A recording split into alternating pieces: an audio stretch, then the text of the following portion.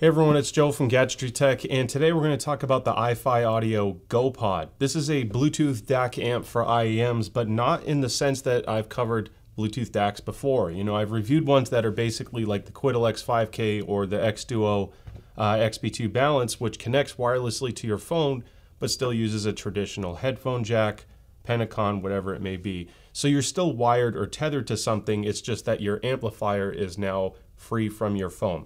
Gives you some portability, but not full.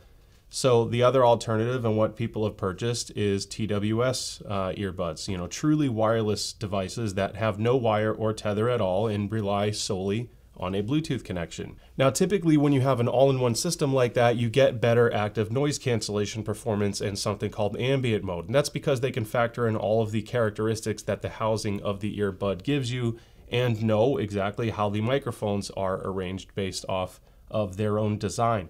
So when you go with the universal design, there are microphones on this, but because it's a universal system, there are, are no ANC features. There's no ambient mode. It's basically a wireless amp.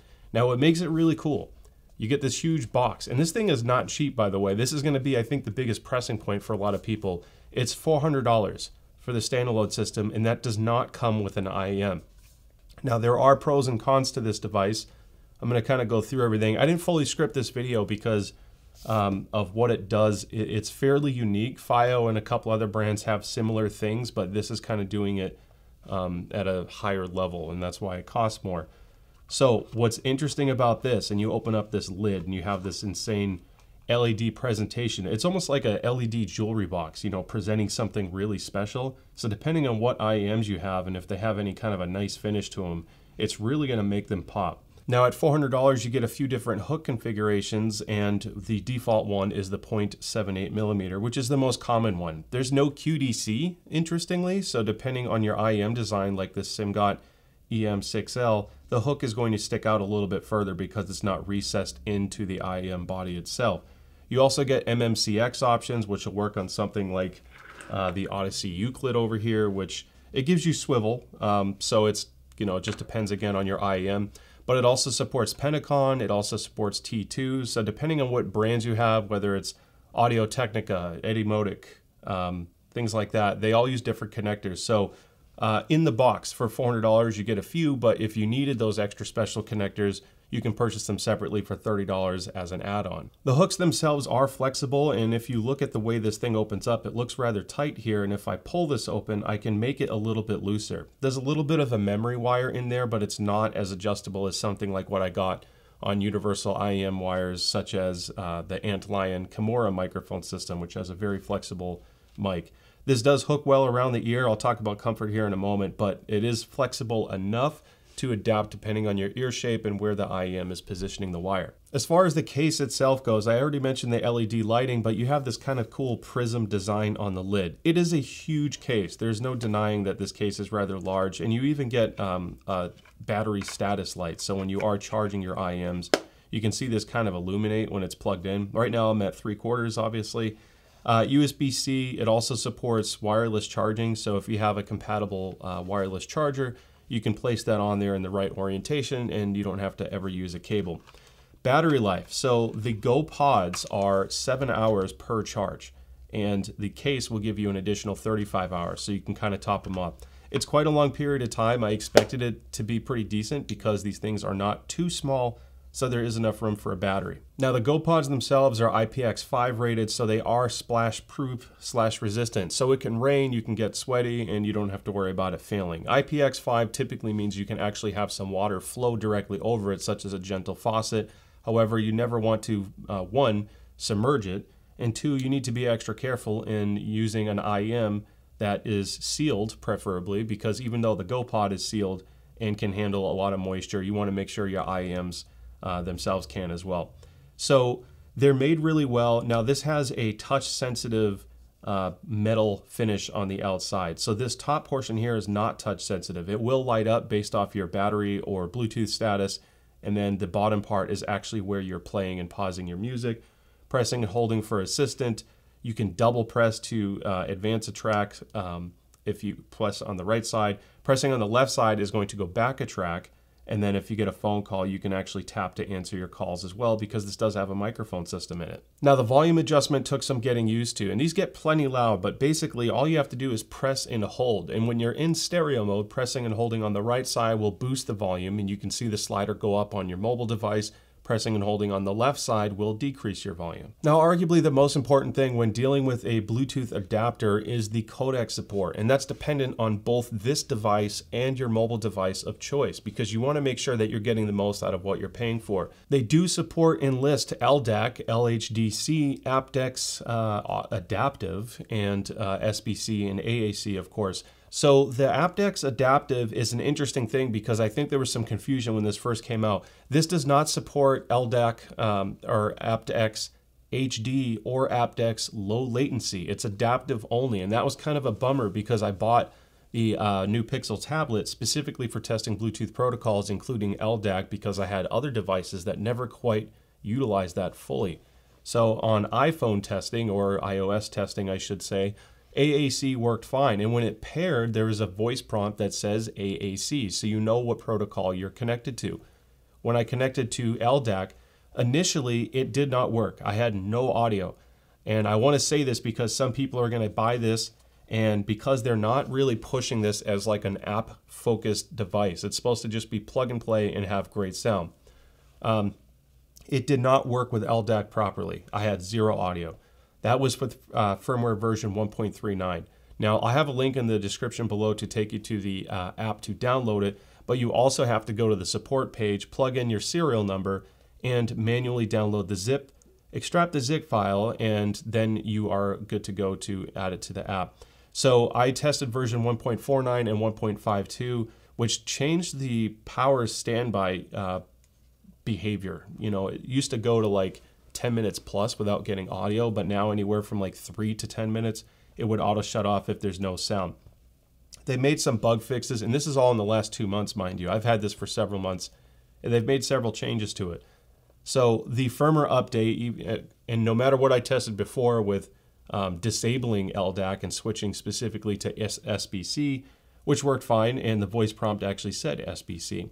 So I do the firmware update. I'm on 1.52. Now LDAC is working perfectly and it sounds noticeably better. Now, as far as sound quality goes, there's a few things that makes this sound as good as it does, and th this is where it kind of gets into its own unique niche of what this product can do. You want to utilize the best codec you can, of course. So after the firmware update, I was using LDAC on uh, my Android device. I'm using the newer uh, Pixel tablet. And on iPhone, of course, I was using AAC. Didn't sound bad on AAC. Interestingly enough, when I used other Bluetooth DACs that were connected with AAC, hardwired to my IEM, that's still using Bluetooth protocols to transmit the data from my phone to the amp and then obviously into the wire into my IEM. And that's things like the Qudelix 5K, which is amazing and has parametric EQ, but admittedly the amp leaves a little bit less to be desired. Now my XB2 Balance Duo is a decent uh, power supply for wire. It sounds very dynamic and punchy and has a lot of depth to it. Um, this was very comparable to that, even on the AAC codec, and it's doing this purely in a TWS fashion. The other thing to keep in mind is your stereo imaging. You want perfect phase matching, obviously amplitude from low frequencies to high frequencies. You want all of this to match so you have a really coherent, clean imaging presentation. And that's those are the areas where the GoPods do the best.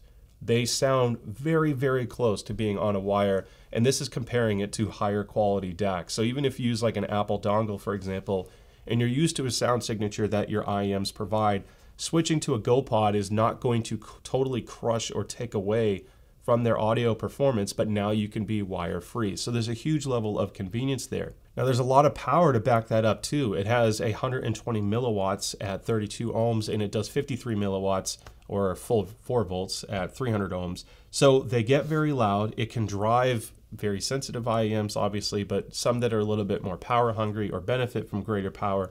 These seem to have more depth to it. Now, um, what I think this gives you that flexibility and what makes this special is you're not just buying a TWS system, which admittedly, like I said, can have excellent noise cancellation or ambient mode uh, characteristics.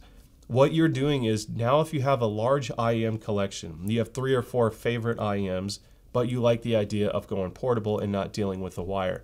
The GoPod is one of the only products on the market, period, that can completely free you from a cable but still sound excellent. Now it's even further uh, extended when you look at the LDAC performance. So if you have a more modern uh, Android device that can support it, you almost cannot tell the difference from wire or wireless. It is so clean. And when you have the Cirrus Logic uh, DACs or the amps that are powering your IEMs, it sounds amazing. I mean, it's very hard to tell. Now, on the app that they have, which is um, a very limited app, that's where you do the firmware updates, which requires manually importing your own files. So it's a little bit more cumbersome. But you can change the filters too. They have a slow and a fast filter. They have the ability to go to phase matching versus low latency. Um, or you can do NOS mode or no oversampling to run it in direct with no processing. So I ended up leaving it with default, which was the lower latency, um, a slow filter, and uh, oversampling was not disabled. So that's how it comes out of the box. I found that if you did the phase matching with the faster filter, it changed the treble sound just a little bit. And it didn't quite sound uh, the way I was used to on a more um, familiar DAC, I guess, for a lot of my audio testing. So it's nice that you have filter options. I would have preferred to give me some kind of parametric EQ. Now, iFi did say they are working on an, an app to further enhance the experience with this product. And at $400, that's a welcome addition, but it's going to be several months before you see any change. I think if they had this with a parametric EQ, it could be an absolute game changer because now you can pick any IEM you want be truly wireless, like the, uh, you know, but then have the features that the Qudelix 5K gives you for customizing the sound, maybe get rid of a harsh spot in treble or something like that. Now, as far as comfort goes, I think it kind of depends on which IEM you pick and, of course, your ear shape. So as you can see, when you wear them, it puts the unit right behind your ear. So the weight of the unit is resting on the back of your ear, your cartilage. So depending on your ear shape and how sensitive you are to that pressure, it can lead to some discomfort after a while.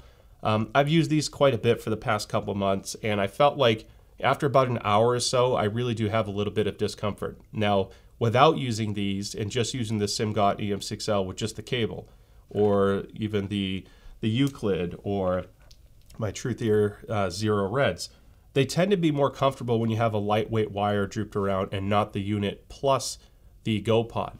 Now, when I use my Moondrop lands, which are very small and lightweight, compact, they fit my ear extremely well. I had uh, very little discomfort issues. I could wear them for two hours plus, and it was perfectly fine. So I think finding the right IEM that fits you is going to make a difference on how comfortable these are. I also felt like I got used to the comfort a little bit after a couple months of use, and it wasn't as bad. However, because of the design and having a little bit of a battery, it's just a different feel, so you will feel it a little bit. Now the GoPods have a microphone built into it thanks to the Qualcomm chipset, and this is what my microphone sounds like using an LDAC connection to my Android tablet. It sounds fairly clear, but it's very ambient. It doesn't do, uh, even though it's using their noise filtration and cancellation technology, I still think it picks up a lot of the ambience and echo of the room. Part of that is simply just because of where the microphones are placed. There's no proximity effect because they're far away from my mouth. So keep that in mind. All right, now I'm talking to you using the GoPod mic connected to my iPhone, which has a noticeable change in sound quality. It's definitely more compressed and less clear, and that's just the byproduct of using a Qualcomm chipset on an Apple device. It's just how it works. So you can still use it for calls, um, and you can, like I said, tap the button to answer calls now, I recommend updating the firmware because I had a lot of microphone issues prior to going to the latest firmware. It worked much better on version 1.49 and 1.52, but this is what I sound like. All right, so that about wraps up the review, and this is an interesting product because it's one very expensive, but it's also fairly unique. Now, not only is it unique, but it performs really well purely on the sound quality side. So if you're not one to want to deal with or fuss with apps or customization and tuning, and just plug and play. This is giving you really strong depth of power and impact, and it still sounds excellent. So if you have whether it's a $100 IEM or a $500 IEM, you're not going to really hold it back using something like the GoPod. And then it scales well, especially if you're using LDAC or you can take advantage of aptX Adaptive, uh, for example. So while not a perfect home run, the case is kind of, you know, I feel like the case could have been built a little bit better. The hinge design has a slight squeaks to it uh, once in a while. You can kind of hear it. So I think it picked that up. Depends how fast you open it. And the case is huge. Now it's a magnetic close, so it does stay shut. Um, so I and because of how difficult it is to pop these out, there's magnets holding this into the case. I don't think you're going to lose them or anything if this case ever opened up in your bag. It's really well secured in there. And you have this nice felt liner. So I think the case could have had a little bit more depth for larger IEMs or maybe be shaped differently to be more pocket friendly, but I think it has to do with having the wireless charge, USB-C, and the rather large battery pack. It's just a, you know, a design choice, I guess. So uh, overall, pretty solid product though. I think it's very unique, like I said, and it does work well. Uh, whether it's worth $400 to you or not is a different discussion. That's really up to you. So I'll have links in the description if you're interested in purchasing this. Uh, don't forget to like and subscribe because I'd love to see it the next video. Probably won't sound as nasally as I do right now because I'm recovering from being pretty sick after going to CanJam, but the show must go on. So thank you for making it to the end for your support, and I'll see you next time. Bye.